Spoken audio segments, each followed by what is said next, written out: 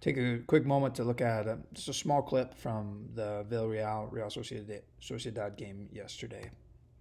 Um, what we're really looking at is this little rotation, uh, uh, pretty common. Um, center mid's going to pull out in the space, push the outside back on. The winger fills in the space. Um, but we're really looking at what kind of what does that do uh, to Sociedad's organization and what spaces does it create as we go forward.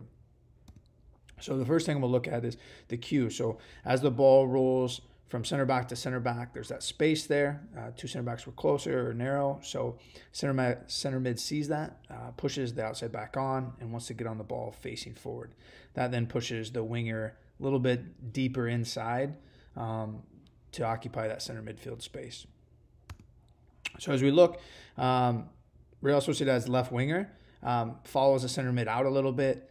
Uh, Real Sociedad was playing a 4-4-1-1, so that that one is sitting and really occupying the six. Um, their highest player is looking to split the two center backs.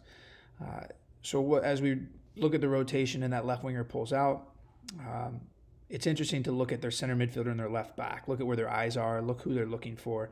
They're trying to find that winger who's now moved inside out of sight. And as you see in the clip as advanced, the center back's able to carry on.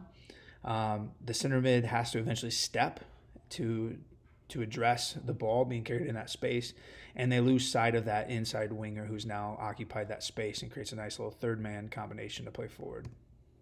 So we'll watch it one more time.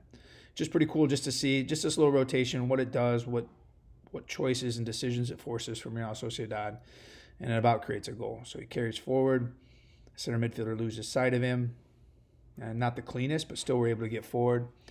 Um, and then we were attracting numbers over the side. We look for that diagonal ball to the back post, and about creates our goal.